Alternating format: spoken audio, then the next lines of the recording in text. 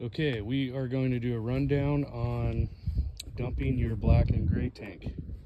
Got your connections there. Got a standard dump scenario at an RV spot or at a dump station somewhere. You have your black tank valve. This is your cap you're going to take off and hook your hose to. And that is your gray tank uh, first valve. The second valve is over here on the passenger side up underneath and there's your other valve. Both of those valves will have to be open to uh, dump the tank, the gray tank. So we're gonna get started. Everything is in this black bin right here. So you're gonna open this black bin. It will come with some gloves. Your gloves right here. Throw those on real quick. Inside this bin, you have your water hose, your power hose, or power cable, I should say, 30 amp with an adapter. That's in another video. You got your little slinky station if you are setting up at an RV park or a campground somewhere. Hose slinky station, so you can go ahead and set that out. We'll set that out and show you here in one second. We'll show you that slinky in one second. But you do have your sewer hose. It is right inside here. It's already got a clear view adapter. It does have this uh, on here. You can take that off, screw it on to some fittings like the one I have here and then that just twists twist locks onto there. You'll want to view and make sure everything's coming out of that sight window when you're doing this. So let me go ahead and I'm going to get this set up. I'm going to put that down in there. We're to stretch this out.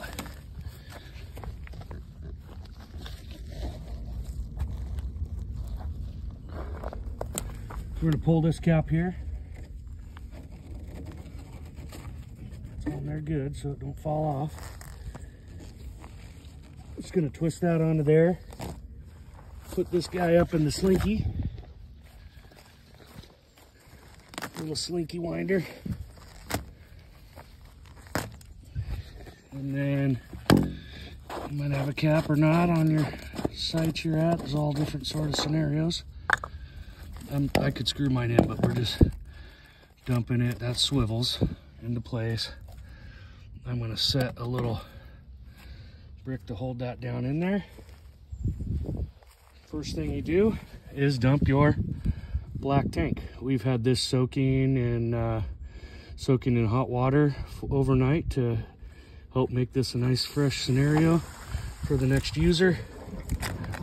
And that didn't work too well right there, so let me get that stretched out.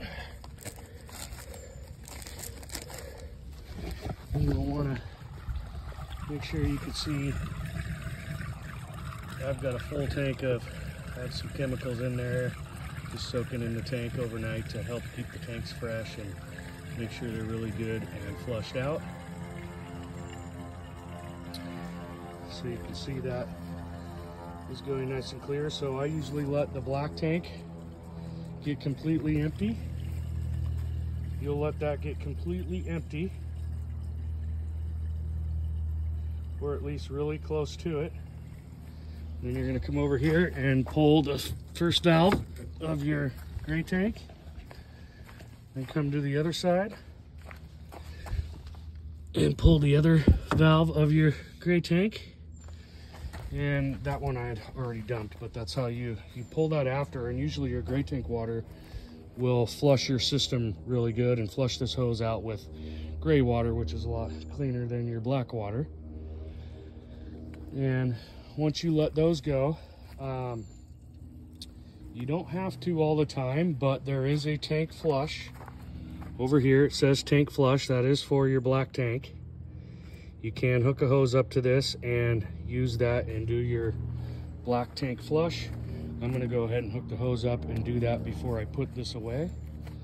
But uh, same reverse action, just go close your gray valves now after everything's drained out. And then you're gonna close your black tank valve. Then you're gonna unhook that end of your hose and find your water source. Um, usually there's a hose at dump sites. There's another, you want to you want to rinse that hose out, even though you kind of rinsed it out with the gray. You'll want to just give that a good rinse.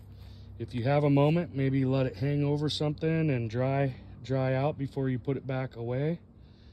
Um, you can, and I want to make one comment here. If you are hooked up to at a campground or an RV site or somewhere you're staying for multiple days or overnight or multiple days and you hook this hose up, you do not want to keep your valves open. These systems don't like just draining and you don't want them open. You're going to get all the back smell air running from all your sewer tanks up through your hose and into your, your system there. These work best if you leave the valves closed and let your tanks fill up. You want them to fill up. It keeps them rinsing the sides of the tanks and and the chemical pod that you put in there will work in your black tank as you fill your black tank up. You want that to fill up before you redump it. You don't ever want to sit with this hose hooked up and those valves open for, you know, while you're using the RV. That's not how these systems work uh, you might as well just put the hose away or, you know, maybe if you want to leave it out for a couple days, great. But close the valves, fill the tanks up, when keep monitoring them when they're getting full. Do the same dump scenario I just showed you.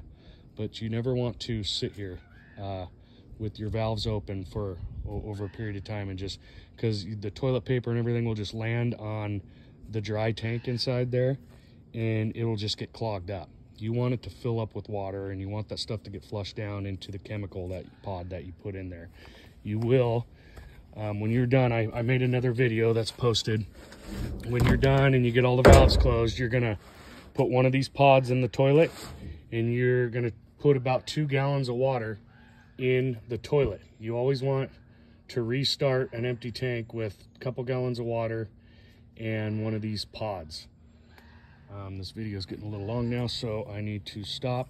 Um, you can just, if you don't have a bucket or a way to measure two gallons in the toilet, just hold the foot pedal down, pump water into it, and count for about uh, two minutes, and, and you'll fill up about two gallons of water. And that is your septic empty.